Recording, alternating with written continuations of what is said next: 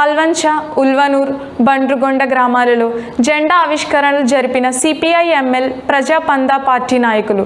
ఈ సందర్భంగా party Palvancha sub division కార్యదర్శి నిమ్మల రాంబాబు మాట్లాడుతూ ప్రజాపందా పార్టీ నిర్వహించే ప్రజా ఉద్యమాల్లో ప్రతి ఒక్కరూ భాగస్వాములు కావాలని అన్నారు.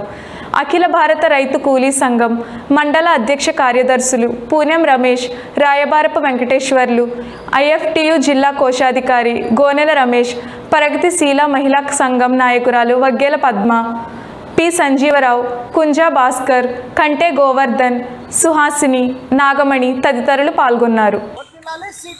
ప్రజాపంత ప్రజాపంత